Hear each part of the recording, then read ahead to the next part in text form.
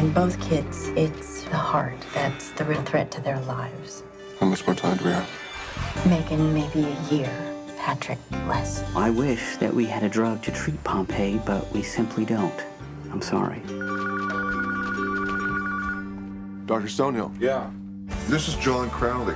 All the researchers out there say that you're a genius on the verge of a scientific breakthrough. I'm not on the verge of anything. How much would it take to prove your theory? The odds against you are crushing. So where does that leave your kids when the dad has no job and no health insurance? You're right. This is crazy. But I can't just sit around and wait for my kids to die.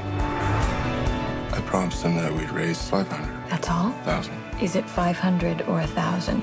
500,000. Are you totally insane? Apparently. Was he worth it? The Stonehill guy? He's really eccentric, but his science is way ahead of everybody else's. Do you have a wife? Uh, ex-wives. Two of them. Yeah. How come? Because I'm so easy to get along with. Figure any dude in a business suit can help me raise venture capital and run the company.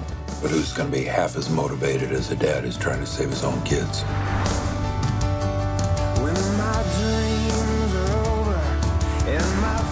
We can do this. We push ourselves. We work around the clock. I already work around the clock. Great. Cure diseases in theory, but never help a single human being in reality. I can't cure your kids, you know that, but I think I can save their lives. And what if he succeeds too late? Then what? You're in clinical trials by the end of the year, or we pull the plug. Nobody is going to tell me how to run my lab.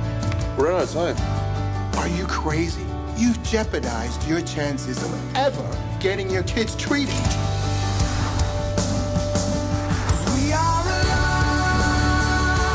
We are strong. Do you remember you told me that I should stop chasing miracles? Well, don't get your hopes up, kid. Say Hail Mary.